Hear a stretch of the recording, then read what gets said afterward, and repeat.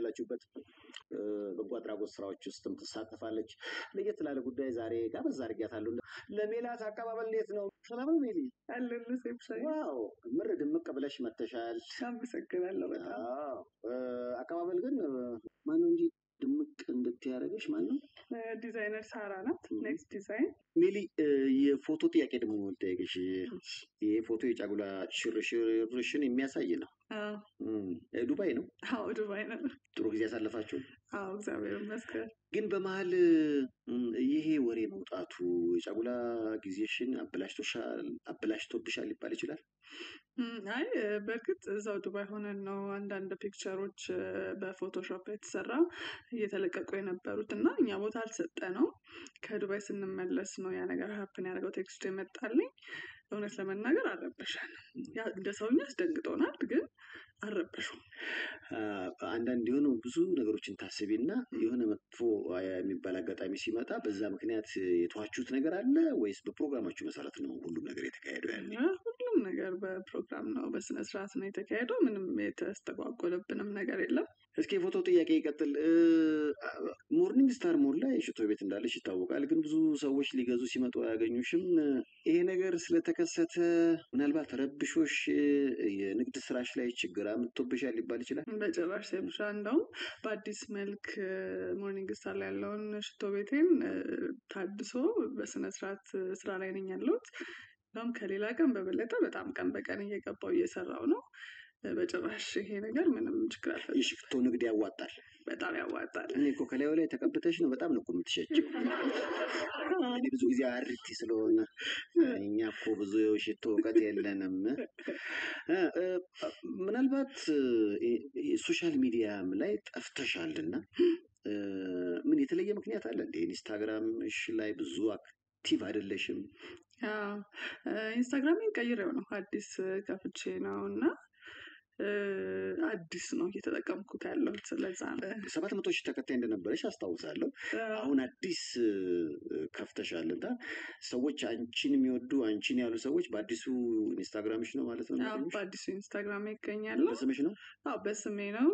ሀያ ምናምን ደርሳለች አዲሷ ሀያ ሺህ አይደለችም። ሀያ ሀያ አምስት ሰው ሀያ አምስት ሰው አዲሱ አዎ ብዙ ነው። ተመስገን። ግድ የለም እንደዛ ተብሎ እኮ ነው ሰባት መቶ ሺህ ባለፈው በታዲያስ አዲስ ላይ አውርተነዋል። ከዛ ጋር በተገናኘ የሰዎችም ጥያቄ ነበረ። ጉዳዩ ከምን ደረሰ የሚል አለ። የሆነውን ነገር ባለማወቅ የተለያየ ነገር የሚያወራ ሰው አለ። እንደኔ እንደኔ ደግሞ እንዲህ አይነት አጋጣሚ ሲገኝ ደግሞ ለሌሎችም ማንቂያ ነው። እኔ በግል ማደንቅሽ የሆነ ነገር ሲያጋጥምሽ እዛ ላይ እንዲቆም አለማድረግ፣ ሌሎች ከዚህ መማር አለባቸው ብለሽ የሄድሽበት እድገት በጣም መደነቅ የሚገባው ነው እና ሜሊን ልታደንቁልኝ እስኪ ምናልባት እንደገና ማስታወስ አይሆንና አንዳንዶች ቪዲዮ ነው ብለው የሚያስቡ አሉ። አንዳንዶች ይመስለኛል ዘመኑ አሁን የፈጠራ ወሬ የነገሰበት በጣም ሰው የፈለገውን የሚያወራበት እና የሚያሳስትበት ደግሞ እንደዚህ አይነት የፈጠራ ወሬዎች ደግሞ ብዙ ተመልካች የሚያገኝበት ጊዜ ነው እና ትክክለኛው ነገር ምንድን ነው ሜሊ? እ፣ ትክክለኛው ነገር ያው አንተ እንዳልከው ቪዲዮም ይመስለዋል። እ፣ እኔ picture ተነስቼ እርቃኔን የላኩም የሚመስላቸው ሰዎች አሉ። ትክክለኛው ነገር ከዚህ በፊት የነበረ ላይፌ ላይ አንድ ላይ ፎቶ የተነሳ ነው። ማንኛውም ፍቅረኛሞች የሚነሱት ፍቅረኛሞች አይነት ፎቶ ነው። እሱን ነው እለቃለሁ ብሎ እያስፈራራ ያለው። ከዚህ ተነስተሽ አሁን በፍቅር ጊዜ ላይ አይሆንም እንደውም ዘፈን እኮ አለው ፍቅር ያለቀ ዕለት ምን ነው ካርኔ የለው ይባላል። ማለት ፍቅር ሊያልቅ ይችላል። ያንን ሳያስቡ ግን ብዙዎች ነገ በጠብ ምክንያት ሊያስወቅስ የሚችል አይነት ሰነድ አሳልፈው ይሰጣሉ። በዚህ ምክንያት እንደውም ብዙ በተለይ አረብ ሀገር ሊሆን ይችላል፣ እዚህም ሀገር ውስጥ ብዙ ችግሮችን አስተውላለሁ። እም። ከአንቺ አጋጣሚ ተነስተሽ ምን ማለት ትፈልጋለሽ? መቼም በተለይ ሴቶች ፍቅር ውስጥ ስንሆን ድፍን ነው የምንለው። ነገ ላይ ጥል ይመጣሉ የሆነ ነገር ሀፕን ያደርጋል ብለህ አታስብም። ግን ራሳችንን ብንጠብቅ ብዬ ነው የማምነው። ምክንያቱም በእኔ ተማሩ። እኔ በፍቅር ውስጥ ሆኜ የተነሳሁት ፎቶ ነው። አሁንም ደግሜ መናገር ምፈልገው የእርቃን ፎቶ አይደለም። እ፣ ሲለቀቅም ያ ሰውዬም አብሮ የሚታይበት picture ነው እና ራሳቸውን ይጠብቁ ማለት ነው ምፈልገው ሰይፍሻ ከአንቺ ተነስቼ አንድ ሁለት ነገሮች የአንቺ ዜና ካቀረበን በኋላ ሰዎች ምን አይነት አስተያየት ሰጡ? አረብ ሀገር የሚኖሩ ሴቶች ፎቶሾፕ የማያውቁ እነሱ ጋር አንድ ሁለት በቃ ማውራት ማሚኖራ ከዛ በኋላ እስኪ ፎቶሽን ምናምን ብለው ሰዎቹ ደግሞ ያገበና ቢወጣ አይደለም በቃ ቤተሰብ ያው የሰሩትን የሚልኩ ሰዎች ያጋጥማሉ። እዚህም እዚህ አዲስ አበባ ውስጥም ደግሞ የደረሰኝ የአንድ የአራት ሴቶች መልእክት ምን መሰለሽ፣ በመዝናኛ ቦታ የሚጠጡበት ነገር ውስጥ የሆነ ነገር ጨምረውባቸው እርቃናቸውን ቪዲዮ ቀርጸዋቸው ከዛ በየጊዜው ይህን ያህል ገንዘብ አምጪ፣ ይህን ያህል ነገር አምጪ የተባሉ የሚጠየቁ። ይህን ሁሉ ግን እንዲነግሩኝ ምክንያት የሆንሽው አንቺ ነሽ። ምክንያቱም ያንን ነገር አውጥተሽ እንዲህ አይነት ነገር አጋጥሞኛል፣ ሁለት መቶ ሺህ ብር አምጪ ተብያለሁ፣ ሌሎች በሚሄዱበት መንገድ አልሄድም፣ ማስፈራሪያውን ሳይሆን ነገሩ እዚህ ጋር መቆም አለበት ብለሽ ስለወጣሽ ግን አሁንም እደግመዋለሁ ጀግና ነሽ። አመሰግናለሁ። ሴብሻዬ ምንድን ነው አንዳንዴ እግዚአብሔር በህይወት ከአንድ ነገር ሲያመጣ ብዙዎች እንዲድኑበት ሊሆን ይችላል እና ቆመ ብዬ ሳ በጣም ራሳቸው የሚያጠፉ ሴቶች አሉ። አሁንም ሰሞኑን የሰማነው ነገር አለ እና መሆን የለበትም መስበር አለብን። ህጉም አለ። ትንሽ ትዕግስት ይፈልጋል። ወዲያው ላታይ ትችላለህ፣ ግን መሰበር የለባቸውም ሴቶች። በተለይ በፊት ከነበሩ ፍቅረኛቸው ጋር ያደረጉትን ነገር ምንም መፍራት የለባቸውም ብዬ ነው ማምነው እና አሁንም ብዙ ስራ እንሰራለን ብዬ አስባለሁ። ከእግዚአብሔር ሌላው በጣም የባለቤትሽ አድናቂ ነኝ። ምክንያቱም እንዲህ አይነት ሰዎች ከጀርባ ባይቆሙ እንዲህ አይነት ጉዳይ ይዘሽ ወደፊት አትመጭም። እውነት ነው። እንዲህ ይህን ጉዳይ በአደባባይ ላይ ካወጣሽ በኋላ የደረሰብሽ ጥሩና ጥሩ ያልሆነ ነገር አለ? ያው ሁልጊዜ ጥሩ ነገር ላይገጥም ይችላል። ምንድን ነው ሁሉም ሰው በራሱ ጫማ ልክ ልክ ነው በአስተሳሰቡ እና በራሳቸው አስተሳሰብ መጥፎ ነገር የሚናገሩ ነገሮች አሉ። ያው ሚዲያ ላይ በማየው እና ያ አይከፋኝም። በእርግጥ የደረሱብኝ ነገሮች አሉ፣ ግን ጥሩ ነገሩ ይበልጣል። አልዋሽህም። በጣም ብዙ ሰው ቪዲዮ የሚለቀቅ ከጎንሽ ነን ምናምን ያሉት እና የበለጠ ፍቅራቸውን እንዳይበትም ያደረገኝ። በተለይ ደግሞ ባለቤቴ ከኔ በበለጠ እሱ ነው ጣቢያ እየተመላለሰ ነገሩን እየተከታተለ የነበረው እና ምክንያቱም ከእሱ ጋር ሆኜ ወይ ተራምጄ ሄጄ አይደለም ያ ነው አንገት የሚያስደፋው እና ከእሱ በፊት የነበረ life ነው። አንዳንዴ ያስቀኛል። ለሆነ ጊዜ ብሎ picture ማስቀመጥ በራሱ ትልቅ ከባድ ነገር ነው። ስንጣላ ብሎ ሰነድ መያዝ ትልቅ እሱ ነው በጣም የከበደኝ ነገር እና okay እግዚአብሔር ለሁሉም ልቦና ይስጥ ነው ምለው ጭምር። በተለይ ይሄ ጉዳይ ከወጣ በኋላ በተለይ አሁን የ virtual ዘመን ነው። የፌስቡክ የቲክቶክ የምናምን ዘመን ነው። ሰዎች ነገን ሳያስቡ ዛሬ ላይ የሚሰሩ ስህተት ነገ ላይ በጣም የሚጎዱበት ነው የሚሆነው። ለዚህ ማሳያ በሴት ላይ ብቻ አይደለም። በነገራችን ላይ የአንቺ ጉዳይ ከወጣ በኋላ ምን እንዳጋጠመኝ ታውቃላችሁ? ሰውየው ሀብታም ነው። የሆነች ልጅ እንግዲህ ለፍቅር ግንኙነት ከትዳሩ ውጭ በድብቅ ያገኛል እና የነበረውን ነገር በቪዲዮ ትቀዳለች እና ከዛ ያንን በቴሌግራም ልካ እንግዲህ ብቻ በቃ ይህን ያህል አምጣ። ደግሞ ያው እንግዲህ ሀብታምም ነው ይታወቃል፣ የልጆች አባት ነው። ይሄ ነገር ከሚወጣ ብሎ ሽምግልና ቁጭ ብሎ ትልቅ ገንዘብ የከፈለ ሰው ታሪክ ሰማሁ። ይህንንም የሰማሁት እድሜ ለአንቺ በአንቺ ጉዳይ ነው። እኔ እውነቱን ለመናገር ይሄ ነው ማለት ስልጣኔ ማለት ምን መሰለሽ፣ ዛሬ አንቺ የመታሽን እንቅፋት ሌላው እንዲመታው ማድረግ ነው።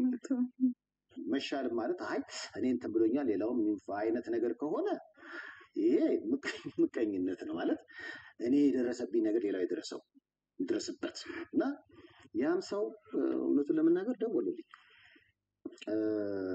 ምንድነው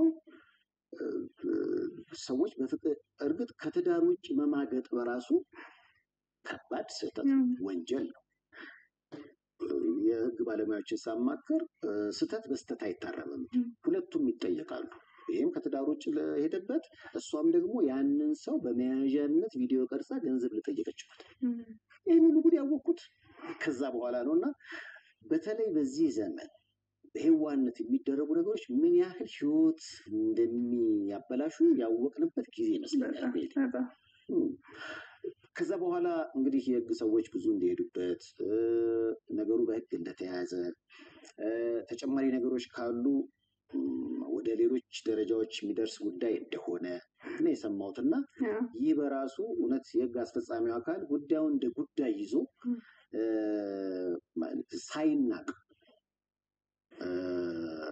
እዚህ ደረጃ ለማድረስ የሄዱበትንም ርቀት ሳናደንቅ አናልፍም። እውነቱን ለመናገር ለእነሱም ክብር ይገባል ለማለት ባላቅም ከህፃናትና ወጣቶች ሰዎች ጋበዝ አድርጌያለሁ። ምክንያቱም ያንቺንም ጉዳይ በቅርብ ሲከታተሉ የነበሩት እነሱ ናቸው። እነሱ ነበሩ። እንዴት አገኘሽው የእነሱን አቀባበል? አቀባበላቸው በጣም ጥሩ ነበር።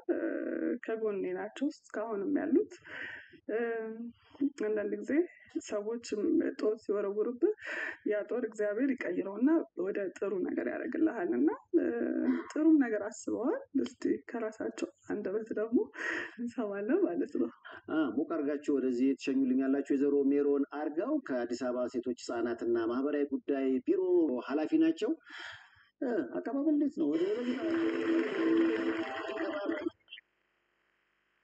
ሰላም? ሁሉ ሰላም። በሜላት ጉዳይ ላይ ወደ ሚዲያ ከወጣ በኋላ ኧረ እኔም ጋር እንዲህ አለ እኔም ጋር እንዲህ አለ የሚል ሰው በጣም ሲበዛ ሳይ ጊዜ የእናንተ ቢሮ ስራ ይበዛበታል ብዬ አሰብኩኝ። በጣም ብዙ ችግር አለ። እውነት ነው። ሴቶች የእኛ የአዲስ አበባ ሴቶች ህጻናት ማህበራዊ ጉዳይ ቢሮ በየዕለቱ ብዙ የሚያስተናግዳቸው ሴቶችና ህጻናት ላይ የሚፈጸሙ ጥቃቶች አሉ። አንዱ ልክ ሜላት ላይ እንደተሞከረው አይነት የጥቃት አይነት ነው ማለት ነው። ቢያንስ በቀን ስድስት አማካኝ ጉዳዮችን እኔ ጠረጴዛ ላይ ብቻ አስተናግዳለሁ ማለት ነው። የሜላት ጉዳይ ወደ አደባባይ ከወጣ በኋላ ተመሳሳይ ነገሮችስ መጡ? ከእሷ በኋላ ተመሳሳይ ነገር አልመጣም። ከዛ በፊት ግን ነበረ። ራሳቸውን የሚያጠፉ ሴቶች አሉ። በዚህ ምክንያት ብዙ ጊዜ በፍቅር ግንኙነት ውስጥ ባለ ግን መስተጋብር በተለይ በአብዛኛው ጊዜ ወንዶች ሴቶች ሲለዩቸው ወይም ፍቅር ጓደኞቻቸው፣ ትዳር ጓደኞቻቸው ሲለዩቸው እነሱን ለመቆጣጠር እና መልሰው የራሳቸው ለማድረግ የሚጠቀሙበት የማስፈራሪያ መንገድ አለ። አንዱ ቴክኖሎጂን በመጠቀም ከዚህ ቀደም በፍቅር ጊዜ የተነሷቸውን ፎቶዎች ሊሆን ይችላል፣ ቪዲዮዎችን ሊሆን ይችላል። በጣም ግላዊ የምንላቸው በወቅቱ ጤናማ ግንኙነት እየነበራቸው ያደረጓቸው ማንኛውም ሰው ሊያደርገው የሚችለውን ይይዙና በዛ ያስፈራራሉ። social media ላይ እናወጣዋለን፣ ሚዲያ ላይ እናወጣዋለን፣ ለቤተሰቦች አሁን ላለው ትዳር እ፣ እናወጣዋለን በሚል ሴቶች ሕግ እንዳለ ያንን የሚቀጣ ሕግ እንዳለ ያ ድርጊት ወንጀል መሆኑን ካለማወቅ ተገዥ ሆነው እንዲኖሩ ይሆናል። ስለዚህ ገንዘባቸውን ይሰጣሉ፣ ትዳራቸው እንዳይፈርስ፣ ቤተሰቦቻቸው እንዳይሸማቀቁ፣ በእነሱ ምክንያት ስራቸው እንዳይበላሽ፣ ስማቸው እንዳይበላሽ፣ በዛ ምክንያት ወንዶቹ የሚጠይቋቸውን ገንዘብ ሊሆን ይችላል፣ መልሶ ፍቅር ግንኙነቱን መቀጠል ሊሆን ይችላል ሳይፈልጉ እንደ መያዣ ማለት ነው፣ እንደ መቆጣጠሪያ blackmailing ማለት ነው። ይሄ ግን በግልጽ ህጉ ላይ የተቀመጠ ወንጀል ነው። ማንም ሰው ያለ ፈቃዱ ፎቶ፣ ቪዲዮ በአደባባይ ሊወጣ ሊሸጥ ሊባዛ አይችልም። ፍትሐ ህጉ ላይ አንቀጽ 27 እና 28 ላይ በግልጽ ያስቀምጣል።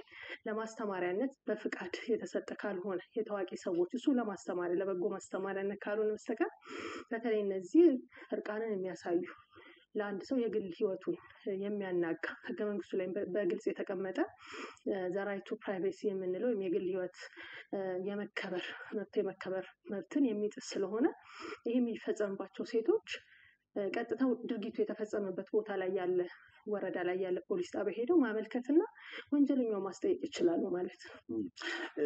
አሁን ራስን ማጥፋት ሲባል ህብረተሰቡ ይሄን ፎቶ ቢያይ ሊመጣብኝ የሚችለውን ውርደት ከመፍራት ነው ያ ፎቶ ቢወጣስ የዓለም መጨረሻ ነው ወይ? አይደለም። እኔ personally ሴቶችን የምመክረው እ፣ ማንም ሰው ሊያደርገው የሚችለውን ነገር ነው የሚያደርጉት በወቅቱ በፍቅር ግንኙነት ባሉ ጊዜ። ስለዚህ ያ ነገር ቢወጣ ማህበረሰቡ ከቤት ጀምሮ ከቤተሰብ ጀምሮ እንግዲህ የማህበረሰባችን አመለካከት፣ አኗኗር፣ እምነት ነው የሚወስነው። ሴቶች ደግሞ መሆን አለባችሁ ተብሎ የሚጠበቁበት ቦታ አለ። ሴት ልጅ ጭምት መሆን አለባት የሚል ማህበረሰብ ነው ያለን አሁንም። ስለዚህ ሴት ልጅ የደረሰባትን ጥቃት ሳይሆን ያ ጥቃት እንዲደርስባት አንቺ ነሽ ምክንያት ብሎ double victimize የሚያደርግ ወይ መልሶ መላልሶ እሷ እንድትሸማቀቅ የሚያደርግ አመለካከት ስለተንሰራፋ ያ ሁሉ ጫና ያሳድርባታል።